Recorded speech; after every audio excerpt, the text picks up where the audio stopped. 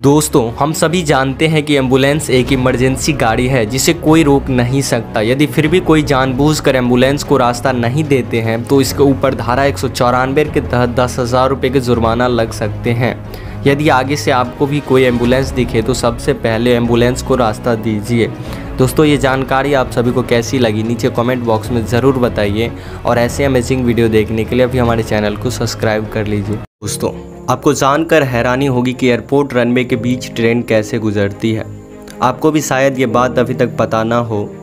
जानकारी के मुताबिक आपको बता दें कि न्यूजीलैंड में मौजूद ग्रिसबॉर्न एयरपोर्ट दुनिया का एकमात्र ऐसा एयरपोर्ट है, जिसके रनवे के बीचों बीच से ट्रेन गुजरती है।